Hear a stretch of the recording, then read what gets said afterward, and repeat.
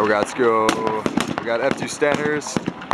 This is our second stage for our marksmanship competition on Friday night.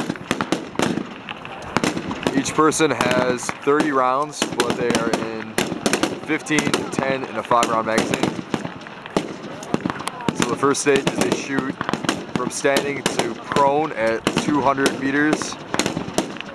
Then after a minute has passed, they're gonna get up, reload, and walk over to the 100 yard line.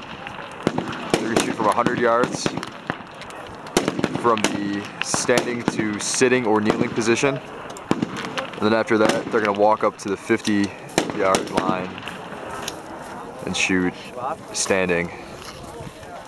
But they're gonna choose what magazines they use. So a lot of the guys are trying to figure out what's what's worse, position or the uh, or the distance. What's the hardest factor?